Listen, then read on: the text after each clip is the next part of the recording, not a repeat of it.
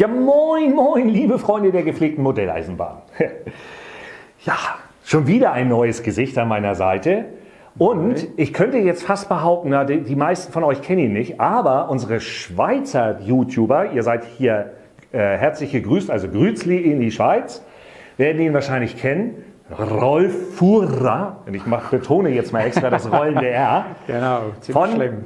von natürlich C-Gleis Plus. Also heute ist nicht der André hier, der hatte scheinbar keinen Bock, Nee, sondern er hat dich geschickt. er hatte keine freie Zeit. Er hatte keine freie Zeit. Genau. Aber wenn wir mal ganz ehrlich sind, es ging gar nicht um die freie Zeit, sondern es geht hier wirklich ums Know-how.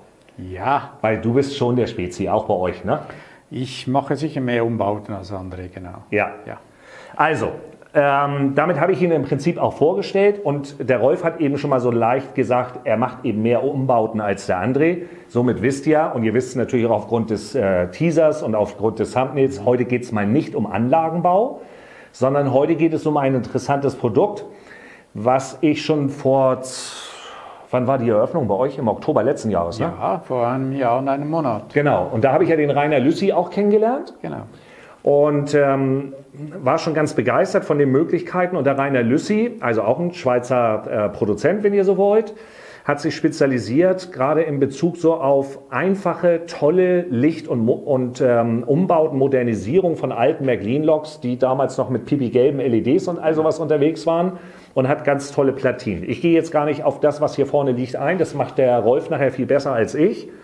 Aber ich wollte euch zumindest sagen, darum geht es also heute in der Sendung. Und ich werde euch noch einblenden, generell das, was wir euch heute anbieten. Also dieses, diese Platine mit der entsprechenden Front- und Rückbeleuchtung für die 36er Modelle. Was heißt 36er Modelle bei Märklin? Alles, was mit der Artikelnummer 36 theoretisch beginnt.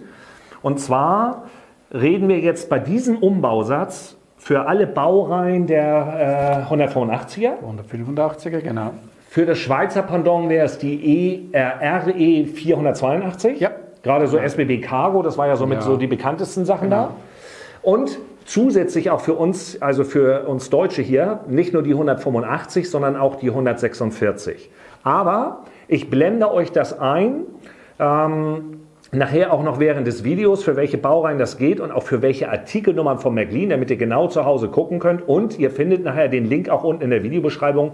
Und bei uns im Shop schreiben wir euch auch nochmal alle Artikelnummern auf. Das kann ich freundlicherweise übernehmen, weil ihr das auf eurer Homepage ja auch so, so schön dargestellt habt. Genau, aber das ist auch dort noch nicht vollständig. Er spricht ja davon, dass alle baugleichen Ja, Loks, deswegen bei euch steht die 146er Baureihe nicht mit drauf, die werde ich Genau. noch bei uns ergänzen. Ja. Also für eine Riesenanzahl von Loks, die ihr zuhauf, auch gerade in den Startpackungen, also was es immer gab. Wir haben hier heute ein ganz besonderes ähm, Modell, deswegen bitte fragt nicht, ob ihr diese Lok kaufen könnt, wenn wir sie nachher einblenden. Die gab es mal vor acht Jahren, ich glaube, das war unser erster Ex Exklusivmodell und wir hatten Glück, dass wir davon noch eine haben. Und mein Partner, der Uwe Denker, das habt ihr natürlich nicht mitgekriegt, musste eben extra noch aus Hamburg hierher kommen, um schnell die Lok zu bringen, weil es ein Abspracheproblem zwischen mir und Genau. André gab. Ne? Ja. Also, deswegen, ihr seht mich jetzt auch nur kurz hier für diesen Ansager. Ich werde mich hier gleich verpieseln und das Feld komplett dem Rolf überlassen, weil der euch wirklich mit einfachen und tollen Schritten schnell erklären kann, wie lange so ein Umbau. Und eins möchte ich vorweggreifen. Ich habe ihn vorhin ganz kurz gefragt, ja, wie lange brauchst du dafür? Und er sagt eine Viertelstunde. Nun hat er das schon zwei, dreimal gemacht. Also selbst wenn ihr das, das das erste Mal macht, also länger als 30 Minuten, glaube ich, braucht kein Mensch dafür, oder? Ja, wenn man vielleicht das erste Mal dran geht, braucht es vielleicht ein bisschen mehr Zeit. Ja. Soll man sich auch nehmen. Okay. Mit der Übung geht es dann schneller. Okay. Aber rechnet mal grob äh, beim ersten Mal vielleicht so um die 30 Minuten, weil es ist wirklich, und das ist ja auch das Tolle an diesen Platinen von den Lucy, dass das so simpel ist. Ne? Genau. Also das äh, zeichnet ihn ja aus, aber da wird euch der Rolf gleich noch ein bisschen was zu sagen, beziehungsweise ich werde aus dem Hintergrund, ihr werdet mich dann nur noch hören und nicht mehr sehen, werde ich die, die dementsprechend doofen Fragen stellen und ich bin in dieser Beziehung auch echt doof, weil auch wenn ich es vielleicht schon mal in dem einen oder anderen Video gesagt habe, ich mag nicht löten und diese ganzen Umbauten und sonstiges bin ich immer froh. Das hat immer mein, mein Partner, der Uwe Denker, gemacht, der ja äh, in unserem McLean Store in Hamburg ist und auch dort die Umbauten macht. Also wir bei MMC bieten euch ja auch Umbauten an, von analog auf Sound, ohne Sound, aber mit neuen Motor und so weiter. Das macht bei uns der Uwe und ja, in der Schweiz macht es der Rolf. Genau. Ja? Also, dann würde ich sagen, machen wir hier einen kurzen Schnitt. Weil ich verpiesel mich und ähm, dann sehen wir uns gleich wieder, weil, ähm, und dann seht ihr mich nur noch aus dem Mail. Deswegen sage ich jetzt an dieser Stelle, ich wünsche euch wirklich viel Spaß mit diesem Umbauvideo mit Rolf Fuhrer von C-Gleis Plus äh, AG aus der Schweiz. Heute zu Gast hier, das ist ja auch was Besonderes. Ja, genau. In Deutschland ähm, bei MMC. Und eine Sache habe ich vergessen, deswegen die noch ganz schnell.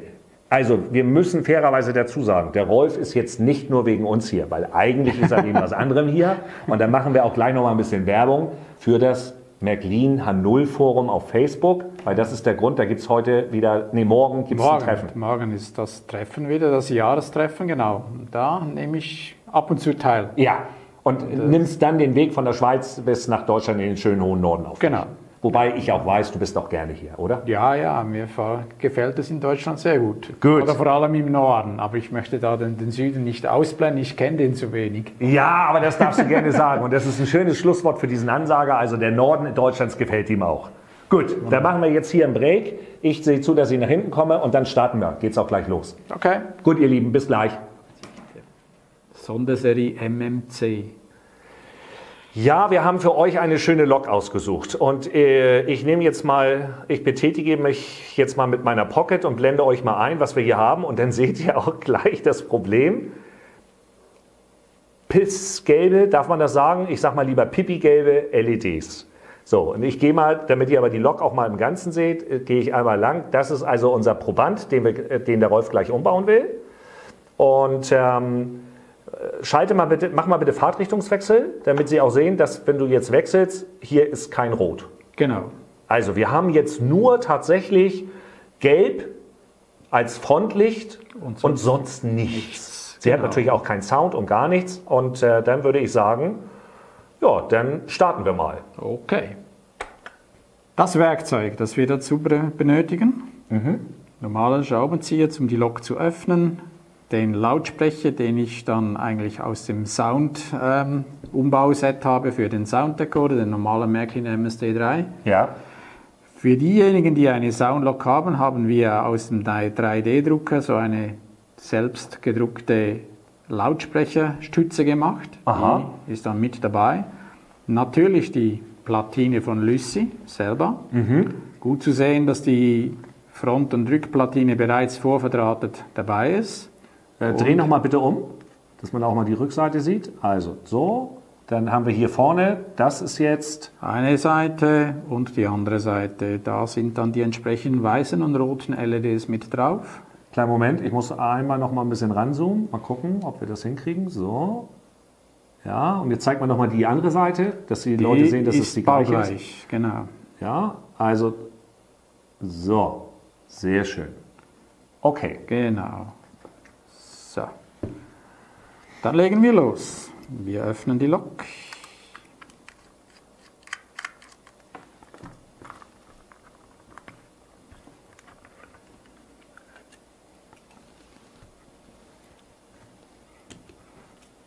Hier zu sehen, wie sie aussieht und hier zu sehen, was dann anschließend rein soll.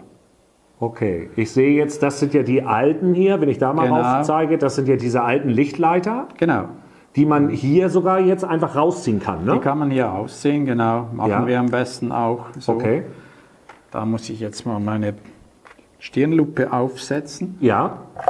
Dann sind hier drei Kabel angelötet. Die löte ich als erstes mal weg. So, warte, ich muss jetzt, äh, dass wir das wirklich gut aufnehmen. Okay. Das ist hier ein braunes für die Masse.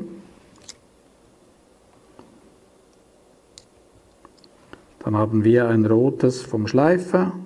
Ja. Da sind auf der neuen Platine sind eigentlich die gleichen, an der gleichen Stelle wieder Lötpunkte, um diese Kabel da wieder anzulöten. Okay. Dann so, das heißt, du lötest jetzt eigentlich nur drei Kabel ab? Ich löte drei Kabel ab als erstes. So. Das zweite ist ein bisschen mühsamer. Das ist der Motor. Genau, der Motor ist bei diesen Loktypen da fest.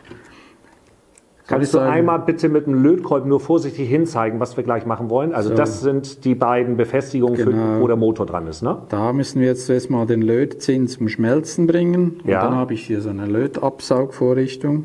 Gehe dann hin, sauge das weg. Dann ist es schon ziemlich sauber. Ja. Gehe auf die andere Seite, mache dasselbe wieder, muss warten, bis der Lötzinn gut geschmolzen ist. Ziehe das hoch. Gut zu sehen, dass der Anschluss schon fast sauber ist. Und dann gehe ich nochmal hin und versuche mit der Pinzette, ob der dann da auch wirklich lose ist. Ist er? Okay. Auf der anderen Seite ist noch ein bisschen mehr Zinn da, aber ist auch lose. Hä? Sehr schön. Schon passiert. Dann haben wir die nächsten drei oder vier Schrauben, die wir da lösen müssen.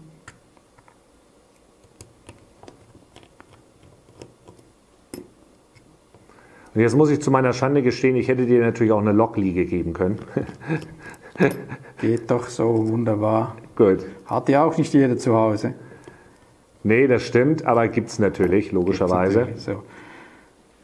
Beim. Ausheben der Platine aufpassen, dass nicht gleich der Motor und damit auch die Kardans mit rauskommen. Ja, Also irgendwie da den Motor ein bisschen halten, die Platine nach hinten rausziehen. ja, So, weg ist sie. ja, sehr schön.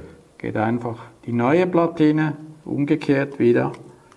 Aufpassen auf die Kabel da reinschieben und bereits die erste Schraube wieder drauf. Entschuldigung. Alles gut. Mit dieser Platine der Schrauben ist eigentlich der Motor auch schon wieder fixiert. Passiert nichts mehr. Sehr gut. Also echt simpel. Wirklich? Also mittlerweile glaube ich ja fast, dass selbst ich das könnte. Bin ich mir fast sicher. Wo ist denn jetzt die vierte Schraube hingekommen? Hier. So.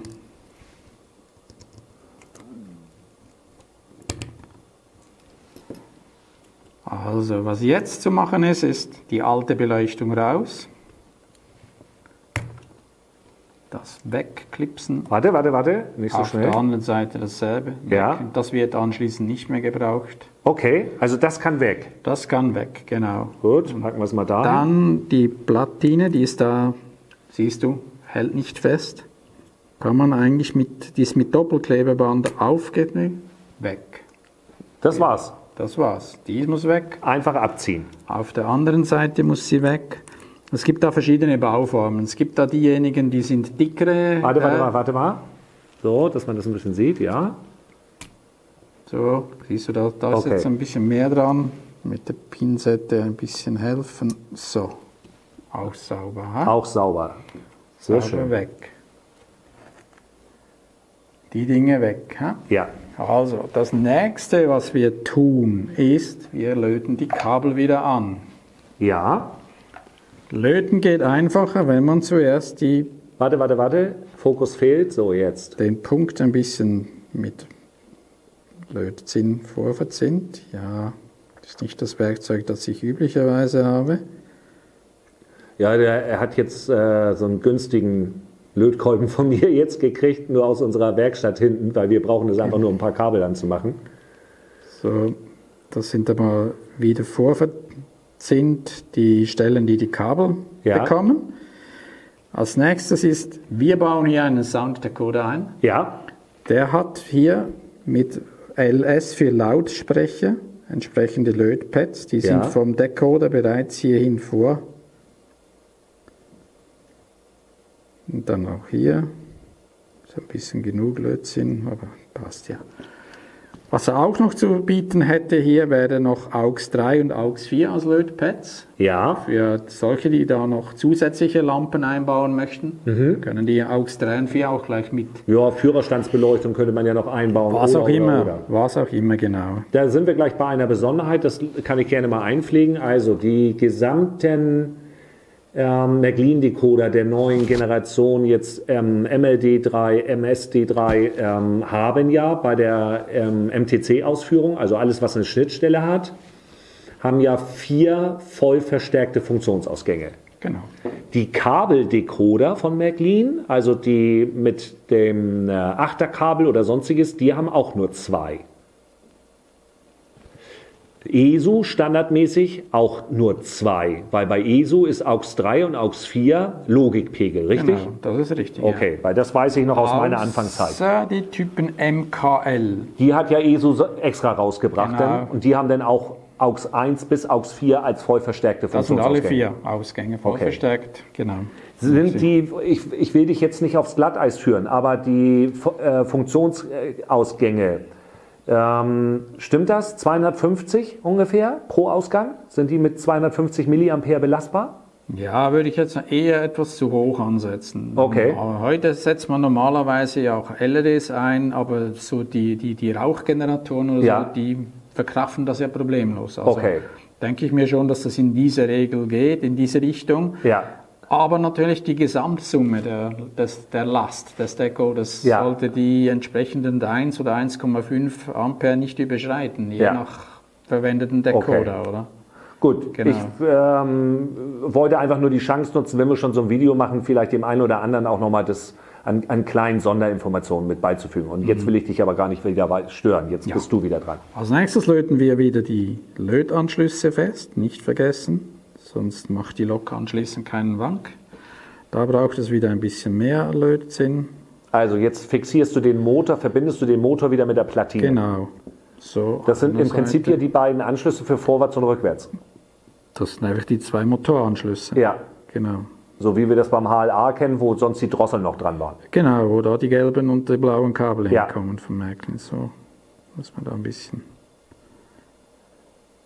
So, Sauber. man darf da schon ein bisschen heizen, aber natürlich nicht so, bis einem der Motor entgegenschmilzt. Ja. Dann ist es zu viel. Dann Okay. löten wir das Kabel da wieder an. Da wo GND für Ground steht, kommt wieder das braune hin. Ja. Pickup oder RT für Rot Ja. ist dann auf der anderen Seite wieder das rote Kabel, was da hinkommt. Ich gehe das schnell um. So. Und ein braunes haben wir ja noch, ne? Und dann haben wir vom anderen Drehgestell nochmals ein blau, äh, braunes. Genau. Ups, das war noch zu wenig.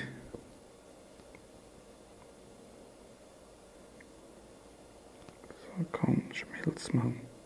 Jetzt ist gut. Sehr schön. Sehr schön. Wir haben die Soundlock. Wir Ja. setzen unseren Halter hier ein. Warte mal, das äh, wurde jetzt durch deine Hand verdeckt. Mach das nochmal von der anderen Seite. Ich nehme das mal weg. Das ist Okay. das 3D-Druckteil, das kommt Ja. hier hin. Ja. Hier ist der, der Lautsprecher, Ja. äh, die, die, die, die Montageschraube oder die Gehäuseschraube, die da hält. Ja. Genau, dann haben wir hier den Lautsprecher. Beim MSD3 ist ein Lautsprecher mit dabei, der große, kleine. Wir nehmen den großen. Ja. Den Stecker habe ich abgeknipst. Ja. Die wir haben hier Lötpads. Ja, du hast ja vorhin schon vorbereitet, hast Genau. den Lötzinn schon auf den Genau. Anschluss gemacht. Ich ziehe dann das Kabel da hinten durch. Wo ist er denn?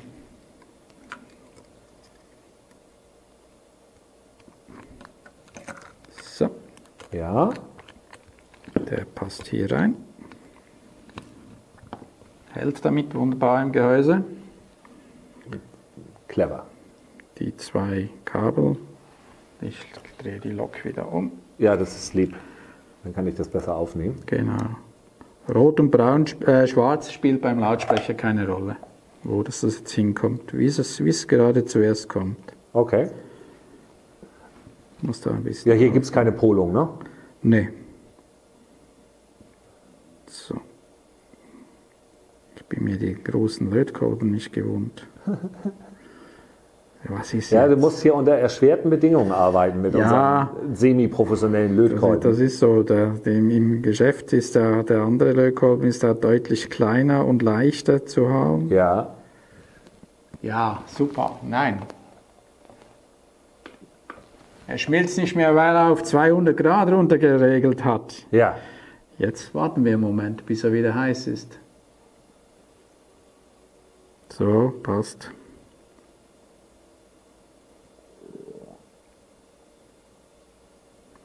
So, jetzt ist er drin. Sehr gut. Geht doch. Hm?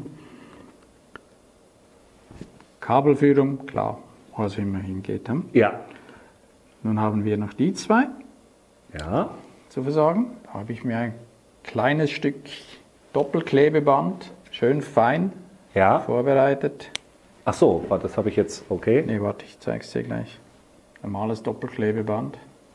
Ja. Wir müssen die Platine vorne ja wieder hinkleben, Ja. oder? Dann machen wir hier das Doppelklebeband hin. Ich verdecke es halt jetzt einen Moment mit dem Finger. Du darfst nicht so schnelle Bewegungen machen. Muss mal Was? dran denken, ich muss dann mit der Kamera folgen können, wenn du hier so rauf und runter schwingst. So sind wir Schweizer. Ja. Schneller. Nee, sei mal so, wie das Klischee sagt. Schön langsam. Das sind nur die Berner.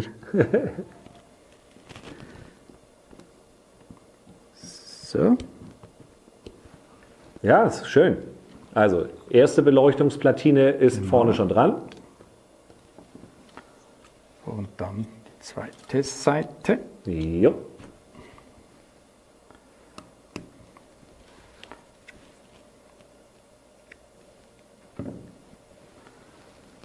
Wieder. Bis, siehst du es? So. Ja. Könnte man auch mit Sekundenkleber ebenfalls aus unserem Shop festkleben. Ja. Aber das ist dann halt für die Ewigkeit. Und hier hätte man immerhin die Chance, die Platine nochmal zu wechseln, wenn man das Ja. machen möchte. So. Auch hier Kabel. Noch ein bisschen. Das heißt, du knickst sie einmal so ein bisschen ein, damit sie gleich besser äh, unter das Gehäuse Siehst passen. du so? Ja. Genau. Dann sind sie eigentlich nicht mehr so im Wege. Gut. Habe ich. Hast du. Aufpassen hier noch. Das Kabel sollte nicht über das Gehäuse hinaus schauen. Müssen wir da halt auch noch ein bisschen, Eindrehen, damit es nicht eingeklemmt wird. damit Ne? es nicht eingeklemmt wird. Okay. Genau. Das braune Kabel einklemmen ist ja nur halb so schlimm. Das rote Ja. wäre dann ein Kurzschluss. Ne? Okay. So, was So. uns jetzt noch fehlt, ist der Decoder. Der Decoder, genau. Die typische MTC 21 Pol Schnittstelle. Eigentlich ja idiotensicher, aber es gibt immer noch Leute, ich habe schon gesehen, die versuchen tatsächlich, äh, die andersrum raufzudrücken. Ne? Ja, gibt's. Programmiert haben wir den mit dem Macklin. Sag noch mal bitte als Hinweis, also, wie muss der immer raufgesteckt werden? Was, ist, was können sich die Leute merken, wenn sie den Decoder raufstecken? Wie muss das Hier, aussehen? hier fehlt ein Pin. Ja, Und wenn der Pin fehlt, ja, kannst du den nur auf die eine Art aufstecken. ja. Wenn du den auf die andere Art versuchst aufzusetzen, dann hast du da ja kein Loch, wo du darunter einen Pin Nö, hast. aber ich habe das alles schon gesehen. Weil Ja, wenn man genau. kräftig drückt, dann äh, schafft man den Pin auch wegzudrücken. das ist so, ja. Sollte man aber nicht tun. Okay, in diesem Falle äh, die Hilfe. Also ihr guckt, guckt euch das so an, dass wir den Aufsatz Den. haben und die Nummer, die da auf dem Decoder steht, scheint nach oben. Genau. Gut. In diesem ist das jetzt so. Somit wäre der Umbau soweit fertig. Wie ich gesagt habe, den Decoder haben wir programmiert. Ja. mit dem Macklin Programmierstick. Wir haben vom Macklin Server ein Soundfile heruntergeladen, Soundprojekt, passend für die 185er. Ja, da muss ich dazu sagen, ich habe es hier, also es gibt ja für diesen Umbau, gibt es ja von McLean auch eine spezielle Decoder. Artikelnummer, das wären in diesem Falle die 60978 und 60979. 60978 ist für die Diesel, für Herkules und sowas. Und 60979, das ist der Decoder, den ich dir hier gegeben habe, der ist eigentlich von McLean zum Umbau gedacht. Dann wäre aber, wenn du die Lok bitte nochmal auf die Unterseite drehst, Wird der Lautsprecher nach unten. so ist es ja original vom McLean vorgesehen, dass hier der Lautsprecher kommt, dann gibt es so einen Bügel, womit man den fixiert und dann wäre das Kabel durch. Das habt ihr ja nicht gemacht, Nein. sondern ihr macht es ja bewusst auch mit eurem 3D-Drucker, mit dieser Halterung, weil wir da jetzt den schön aus den normalen MSD-Sets eingebaut haben. Genau. Das ist dann nicht mehr die spezielle Und der hat einen Variante deutlich besseren Sound. Ja, und nicht mehr die Variante, wo du die, die Platine dann über hast, Ja, sondern wirklich nur der Decoder und der Lautsprecher drin ist. gut. Ja. Und ähm, wir haben natürlich jetzt dadurch, dass sie im Gehäuse ist, der Lautsprecher, einen wesentlich größeren Resonanzkörper auch für den Sound. Genau, so wie eine große Soundkapsel. Okay. Oder Lautsprecherkapsel. Wir Dann können das Gehäuse Machen wir wieder die Hochzeit. Gehäuse drauf.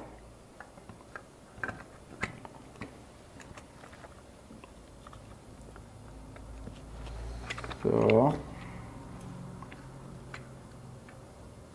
Aufpassen beim Zusammenschieben. So, jetzt.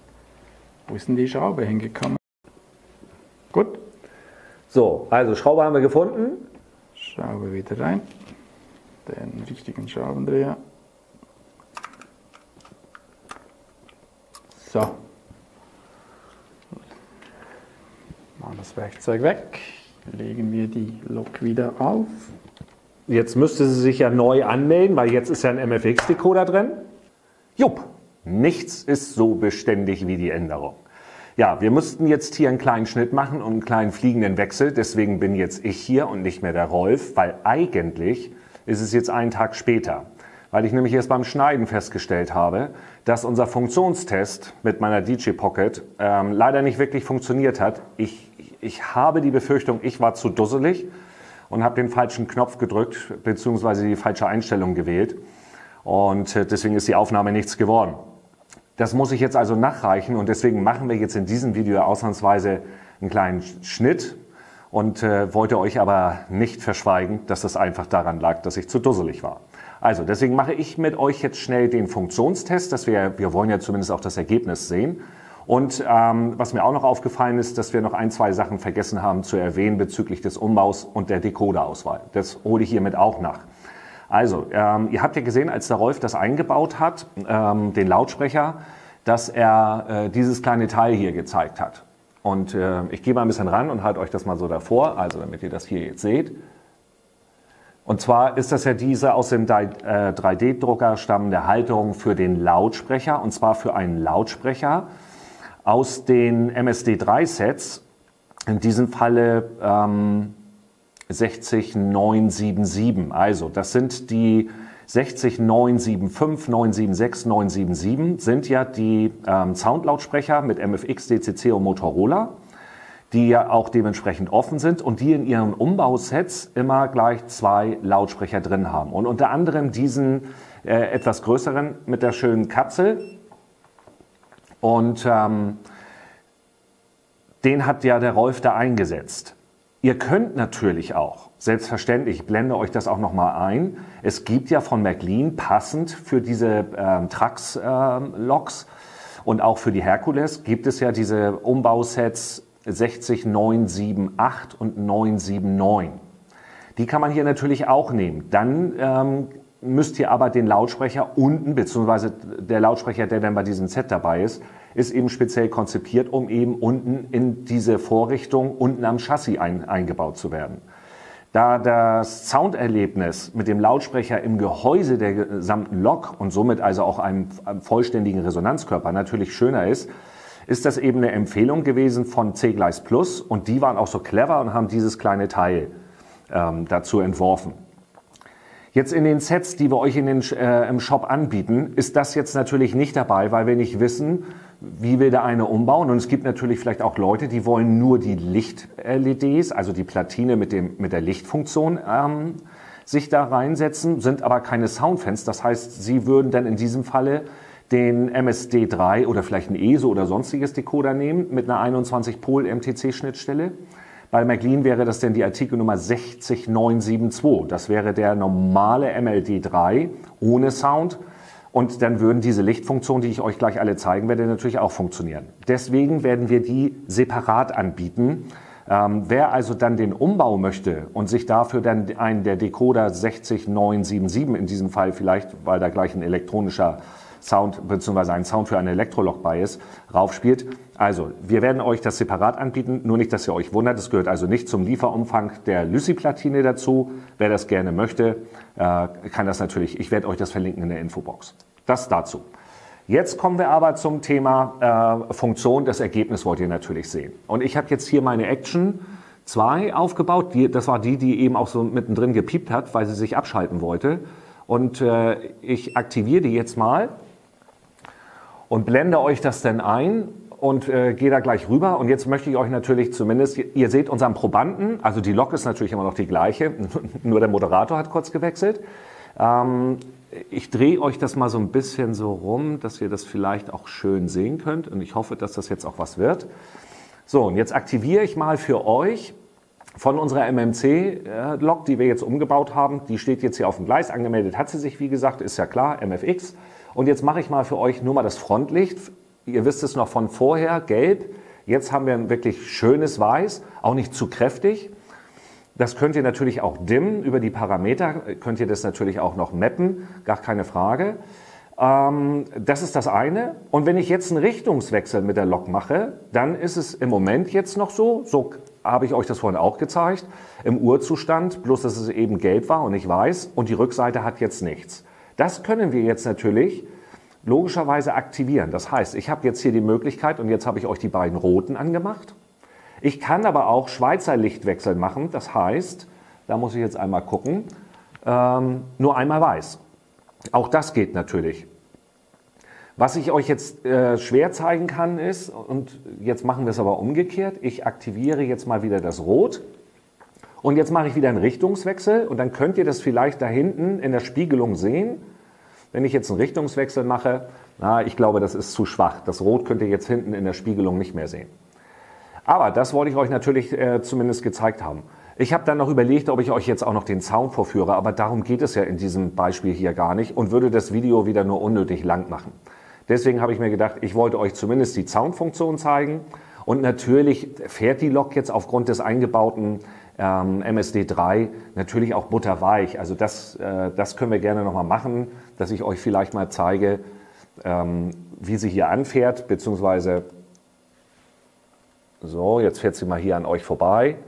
Oder wenn ich jetzt den Richtungswechsel mache, lasse ich sie nochmal langsam und wirklich langsam. Ich mache mal Fahrstufe 1, damit ihr mal seht, äh, was da machbar ist.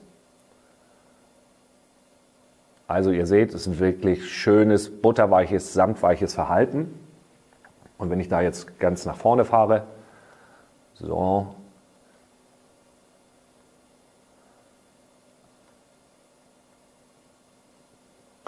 und nochmal den Richtungswechsel. Das können wir natürlich auch im Mapping noch dimmen, also dass wir einen weichen Übergang haben, so wie das standardmäßig bei den ESO-Logs ist, ist hier natürlich genauso machbar über das Mapping an der CS2 oder an der CS3, gar kein Problem. Das soll es dann an dieser Stelle gewesen sein. Also, das wollte ich euch gezeigt haben. Und äh, dann jetzt nicht wundern, jetzt kommt gleich der Schnitt und der Rolf sitzt wieder hier vorne und dann verabschieden wir uns noch von euch, geben noch zwei, drei Hinweise. Das ist, glaube ich, wichtig, ähm, dass wir das noch machen. Ja, und das soll es denn von mir jetzt kurz an dieser Stelle gewesen sein. Ähm, Rolf, erstmal ganz, ganz herzlichen Dank. Gerne. Äh, ist ja wirklich easy simpel, ne? Das ist geht, ja wirklich simpel. Das geht wirklich Du schnell. darfst gerne in die Kamera gucken. Ich setze mich dann mal so dazu, dass wir dann trotzdem irgendwie, na, dann kriegen wir das gut hin. Dann muss ich in die Kamera gucken und mit dir sprechen. Ja, aber dass du zumindest dann ja auch noch. Also äh, ich habe jetzt auf die Uhr geguckt, es waren tatsächlich wirklich, äh, trotz unseres kleinen, dass du ein bisschen mit unserem riesen Lötkolben arbeiten musstest. Also Ja. länger als 20 Minuten waren es auf keinen Fall. Das geht schnell. Also es geht schnell. Das Tolle ist, diese Platinen sind fix und fertig. Die sind so. Genau. Die sind so, ähm, da hat der Rainer Lüssi wirklich was Tolles. Ich kann euch das nur empfehlen. Es gibt natürlich von dem Rainer Lüssi auch für andere Modelle noch solche Dinge. Ja. Aber das ist das, was eben fast für eine Riesenanzahl von Loks tatsächlich Das so ist für viele. Ja, es gibt äh, für Lüssi auch noch für die RE460. Auch Ja. die wird ja in Deutschland, ja die Schweizer Modelle, Ja. waren Schweizer Modelle viel gefahren. Ja. Und die ersten 460er hatten ja auch alle diese gelben, schrecklichen LEDs. Ja. Und da gibt es auch Umbauplatinen für die weiße LEDs. Okay. Das. Das werden wir vielleicht nach und nach einführen. Ich verlinke euch natürlich, wir haben jetzt, der Rolf hat natürlich Lüssi Platinen mitgebracht, wir haben sie bei uns im Shop angelegt. Das heißt, ich verlinke euch das. Es, wir werden auch einen Einführungspreis machen, beziehungsweise vielleicht sogar einen Setpreis mit Sound. Oder wir bieten erstmal nur die Platine an, weil dann können die Leute selber entscheiden, ob sie dazu dementsprechend den Ja. normalen Decoder, also den MLD 3 Genau. bestellen oder den MSD3. Genau. Das können Sie ja selber entscheiden. Da werden wir euch entsprechende Angebote zu verlinken. Ja, dann hoffe ich, dass euch das Video genauso gut gefallen hat wie mir. Ich fand es schön, ich fand es interessant, weil es ja eigentlich nicht so meine Welt ist, aber das fand ich einfach toll und vor allen Dingen mich überzeugen immer Ergebnisse. Und ich finde, das Ergebnis ist einfach klasse. Das ne? ist, das ist ganz sicher we- wesentlich schöner als diese gelben LEDs. ja, ja, ja, ja. Und auch, dass du dann rück, jetzt, jetzt Rücklicht hast und dann auch noch Ja. die verschiedenen Möglichkeiten. Genau. Rolf, ich sage ganz, ganz herzlichen Dank. Vielen Dank Gerne. für deinen Besuch. Ich wünsche euch heute Abend, ihr fahrt ja jetzt noch zu den äh, Eisenbahnfreunden nach Schwarzenberg Genau, und morgen habt ihr ja das H0-Forum-Treffen. Märkliner Null-Treffen, genau. Ich grüße ganz herzlich, selbstverständlich, wir sind ja auch Sponsor vom Märklin H0 Facebook-Forum. Ja. Meine Frau und ich, wir sind auch herzlich eingeladen gewesen von Christian Hanke. Auch nochmal herzlichen Dank an Christian für die Einladung. Wir wären gerne gekommen. Aber aufgrund unserer neuen Personalsituation, wir sind ja kurzfristig von jemandem verlassen worden, sind Sorana und ich im Moment alleine. Wir schaffen es nicht. Dazu werde ich aber auf einem anderen Video noch was sagen. Ich wünsche euch morgen ganz, ganz viel Spaß. Vielen tollen Abend. herzlichen Dank. Danke. Ja, dann liegt Und, es jetzt an dir, vielleicht auch deinen Abschied zu sagen. Ja, ich möchte mich nur beher äh, herzlich bedanken für deine Gastfreundschaft hier. Es war sehr interessant, mal in deinen Betrieb reinzugucken. Hat Spaß gemacht, dich ein bisschen zu unterstützen mit Schotter. Ja, stimmt, das können wir doch erzählen. Wir haben ja. heute ist wieder unsere Nachlieferung gekommen vom C-Gleis-Schotter Dark Grey. Genau. Und der Rolf hat tatsächlich 40 oder 50 Flaschen heute abgefüllt. ja, vielen Dank nochmal. Habe ich gerne gemacht, ja. Okay. Man Ja, dann herzliche Grüße natürlich in die Schweiz an eure Kunden von Vielen C-Gleis. Plus. Möchte ich mich anschließen, danke. Ja, liebe Grüße an André. Danke, werde ich ihm ausrichten. Ja. Am Montag, wenn Ja. ich ihn wieder sehe. Okay. Vorher leider nicht, ja. Ja, dann äh, liegt es an dir jetzt äh, deinen Kunden und euren Kunden Tschüssli zu sagen und unseren MMC YouTube-Leuten. Und ich mache dann das Schlusswort. Herzlichen Dank, ja. Ich möchte herzlich bedanken für das Zuschauen dieses Videos. Wie man zu sehen bekommen hat, ist der Umbau wirklich eine leichte Sache, von jedem zu machen, braucht nicht viel Werkzeug, geht ruckzuck, das Ergebnis überzeugt. Absolut. Das wäre es von meiner Seite her gewesen. Herzlichen Dank. Ja, und wie sagt ihr bei euch Tschüssli? Tschüss. Tschüss. Tschüss. Okay. wir Ja, in Deutschland sagt man auch viel, aber Tschüss. moin, Dann, moin. dann sage ich diesmal auch an dieser Stelle, ohne dass ihr mich seht. Also, vielen Dank fürs Einschalten. Denkt dran, Daumen hoch, Abo dalassen, Glocke aktivieren. Das Übliche, das Spiel, das kennt ihr. Danke mich für eure Aufmerksamkeit. Wünsche euch alles Gute, schönes Wochenende an dieser Stelle. Ich will zusehen, dass ich das sogar morgen noch hochlade. Also heute ist Freitag, morgen ist Samstag.